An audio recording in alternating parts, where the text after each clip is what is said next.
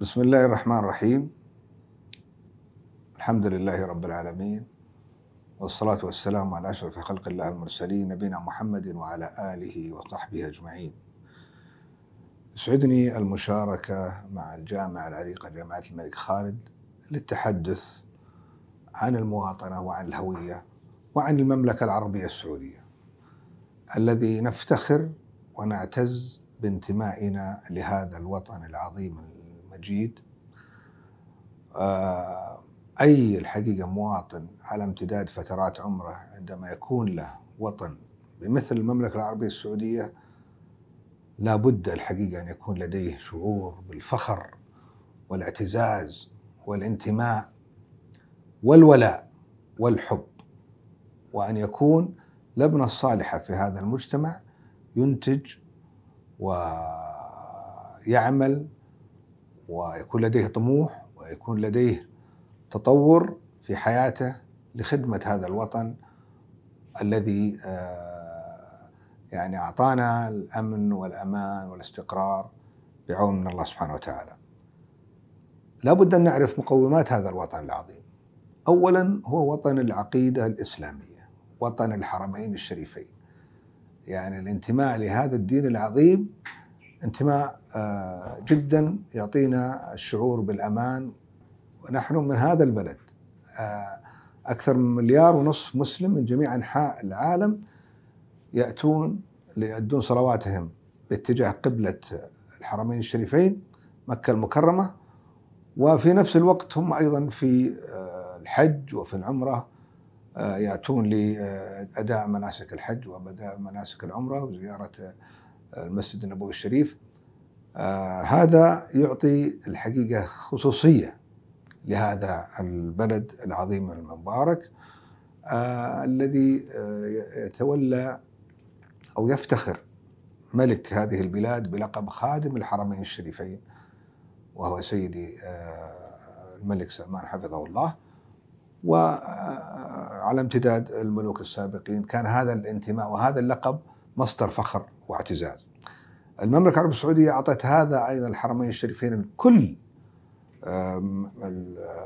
الحب والعناية والرعاية والمباني والتجهيزات. لهذا أصبح كل من يأتي يجد الطمأنينة ويجد الراحة ويجد الخدمات الموفرة لملايين الحجاج والمعتمرين. هذه الميزة أيضا أدت إلى انتشار رسالة الإسلام إلى جميع أنحاء العالم. قبل عدة سنوات كان المعتمرين الذين يأتون من بلد بعيد مثل كندا كانوا يعدون بالأصابع. الآن الذين يأتون للعمرة أو الحج من كندا بعشرات الآلاف. السبب الحقيقة أنه طبعا بعضهم كانوا مهاجرين وابتعدوا قليلا عن الدين الإسلامي ولكنهم عندما أصبحوا يرون النقل الفضائي لمشاعر صلوات التراويح وخطبة الجمعة ومترجمة بجميع اللغات إضافة إلى مئات الملايين من نسخ القرآن الكريم التي تطبع بجميع اللغات. من مجمع الملك فهد آه، لطباعة المصحف الشريف أدى إلى أن تهفو قلوبهم وبالتالي زيادة الداخلين للدين الإسلامي سواء في أوروبا أو في أمريكا أو في الشرق أو في الغرب. هذا أيضا أعطى ميزة لهذا الوطن العظيم وأعطاه تفرد. يدعونا الحقيقة نفتكر إنه رعاية هذا الدين والمحافظة عليه ونشره والقيام بواجب الدعوة إلى الله أيضا خصت بها هذه المملكة العربية السعودية ولله الحمد. الأمر الآخر هو قوة الموارد الطبيعية والاقتصادية بوجود البترول الذي آه، أفاء الله سبحانه وتعالى على هذه الأرض باكتشافه. فأصبح النفط وأصبح الاقتصاد مصدر قوة لهذا البلد فعمرت المدن وعمرت الصحراء وأقيمت الطرق واقيمت المستشفيات واقيمت الجامعات إلى درجة أنه يمكن رؤساء دول يأتون يعالجون في مستشفيات المملكة العربية السعودية نتيجة التقدم الكبير. إضافة المملكة العربية السعودية ضمن أقوى 20 دولة اقتصادا في العالم. وهذه القوة وهذه المكانه أعطاها قوة سياسية أعطاها قوة اقتصادية أعطاها قوة اجتماعية وأعطاها قوة أيضا آه، سياحية وبيئية متميزة. أيضا هذا كان داعي لجذب آه، الملايين للعمل في المملكة العربية السعودية. آخر إحصاء لدينا 13 مليون وآفد من جميع أنحاء العالم. ومن يأتي لا يريد أن يغادر. يعني ليش الناس يأتون للمملكة العربية السعودية ليعملون أنتم؟ مجرد ما تلتفت في الشارع في البقالات في المحلات في المسجد تجد الحقيقة الملايين الذين يأتون من كل مكان وإذا جاءوا لا يريدون أن يغادرون وتجد أن هناك زحام شديد على سفرات خادم الحرمين الشريفين في جميع أنحاء العالم للحصول على فرصة وظيفية في المملكة العربية السعودية. هذه نعمة كبيرة جدا الناس لا يأتونك إلا لأنهم يجدون الخير والاطمئنان والكسب الشريف. هذا يحملنا مسؤولية أن نعشق هذا الوطن ونعرف وندرك أهمية المواطنة فيه.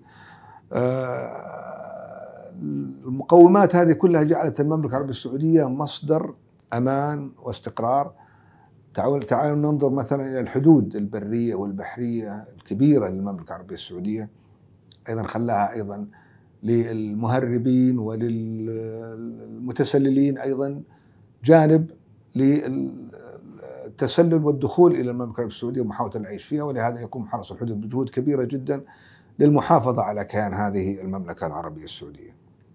عندما نتحدث عن المواطنة بمفهومها الحقيقي نجد أن هذه المواطنة تأتي من خلال أيضا ما تقدمه الدولة آه، المملكة العربية السعودية لمواطنيها. تعليم الحمد لله آه، من بداية آه، سن التعليم وهي متوفرة وبالمجان بشكل متميز طلاب الجامعة ما شاء الله يأخذون مكافآت. ويدرسون في كافة التخصصات. هناك مساواة وعدالة لكل طالب الحق أن يتميز ورأينا ابن القرية وابن الهجرة وابن البادية. يتحول إلى استشاري بارع في الطب يتحول إلى آه، يعني آه، مهندس في شركات ضخمة. يتحول إلى قائد وزير حكومي. هناك أي الفرصة متاحة لكل إنسان أن يبرز ويعطي ويبذل ويتعلم. لهذا هذه السواسية وهذه العدالة نراها من خلال آه، المسؤولين الحكوميين والمسؤولين في القطاع الخاص الذين يتولون مسؤوليات كبرى من أبناء المملكة العربية السعودية في كل مكان من الشمال إلى الجنوب إلى الشرق إلى الغرب إضافة إلى كما قلت الحقيقة من طريف من أقصى الشمال إلى جازان في أقصى الجنوب ومن ينبع إلى أقصى الغرب إلى آه، الجبيل في أقصى الشرق بلد مترامي الأطراف. تستطيع أن تقود سيارتك وتنتقل وتترك أسرتك في مدينة أخرى وأنت آمن مستقر. يعني آخر إحصائيات آه، المشي ليلا. المشي ليلا تصنف امنيا.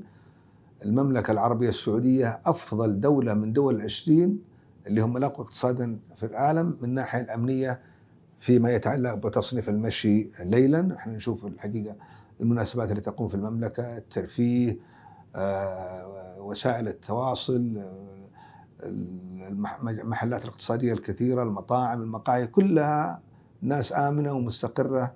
ولله الحمد لا يوجد هناك آه، يعني شيء يسجل ضد مجهول.